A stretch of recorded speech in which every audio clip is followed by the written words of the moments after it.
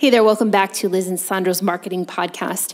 We continue to share content from our time recording at Baldwin Wallace University. The next two episodes are conversations with the students in the marketing class, so we hope you enjoy what we chatted about. I'm ready now.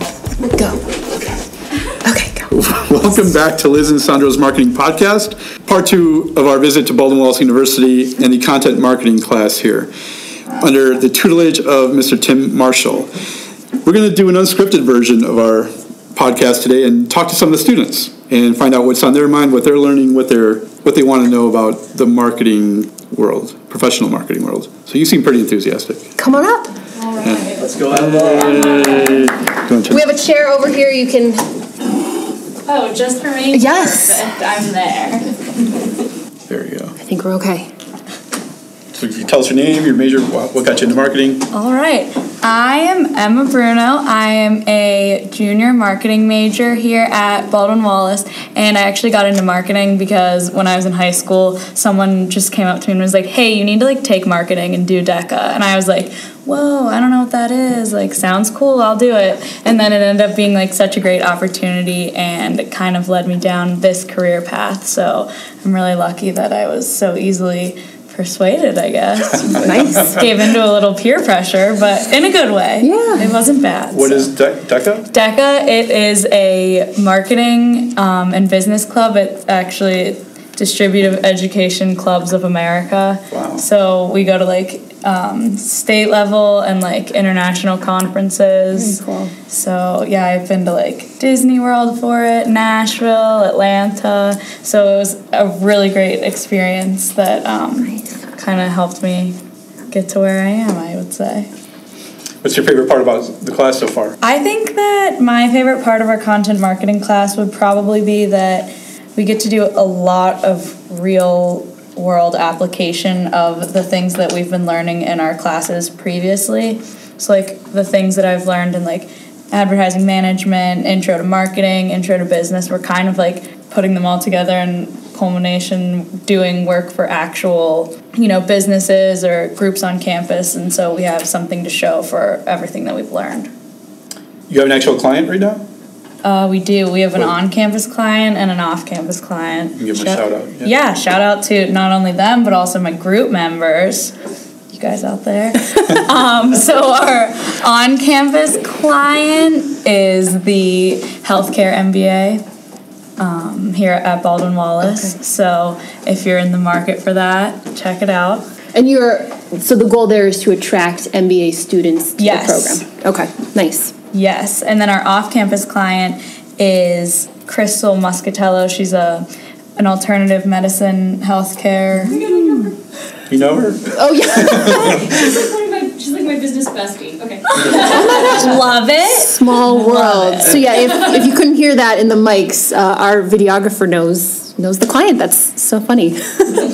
Perfect. So yeah, that's probably one of my favorite parts because again, it's just like actually getting to put into practice because all the things that we've learned because I always worry. I'm like, yeah, I'm learning all this stuff. It's awesome. Like, yeah, I know about like target marketing and I know what it means, but like, what if I don't know how to do it when I have a job and I have to do it? So it's a really great experience, not only to do it here, but also like in an internship. So that's been really exciting over the past year for me.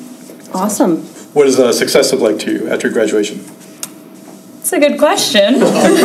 we're working on it. We're we're on the way there. Um, I actually was um, lucky enough to have the opportunity to have an internship this past summer at the American Eagle headquarters in Pittsburgh. I was in um, corporate social responsibility and um, corporate communications. So I'm going back there this coming summer, and so hopefully I can land a job there in digital marketing or Aerie brand marketing. That's awesome. So that's kind of my goal. I'm I'm on the corporate grind. I always say I love corporate America. I'm kind of yeah. Especially when you can wear jeans. Good for you. When you can wear jeans in a corporate setting, like what more could you ask for? You go to like golf outings. We do like the American Eagle Foundation like golf outing and so I'm like driving golf carts around, taking photos. Like I'm schmoozing with like the brand like presidents, and I'm like, who's trusting me to do this? This is awesome. Has, has corporate America changed? I mean, I- Corporate- I, lasted one year and then I started my own company, so I I mean, give it a try. I can't, go, I can't go back now. no turning back. Don't. I would say to anybody else though, don't knock it till you try it. Okay. Well, thank you very much. Thank Appreciate your you for time. having me. Yeah. Yeah. Any any other specific Oh, sorry, questions yeah. for us? Oh, sure. Um, so, what do you think like the biggest challenges with like consistency across all platforms of like marketing and like communications? I don't know if it maybe just for yourselves and your own podcast or any other experiences you guys have had. I'm not a creative person. Um, I joined theater when I was here at BW, and I found the most creative people on the planet in theater, and I loved it. They they had the best parties. They had the best. They were You're just right, Awesome. I've been to one, I love theater, the theater department here. Yeah, and I took I got like three credit hours working backstage. My roommate just did that. She Yeah, loved it. it's fantastic. So I'm not creative. So I, through osmosis, hanging out through with creative people, I try to be creative. So I hated. The challenge for me is being creative regularly. You know, sometimes you're creative at 3 a.m. and I like working from home, or I can just start typing or creating things then. But I'm not as creative as I'd like to be. That's my challenge.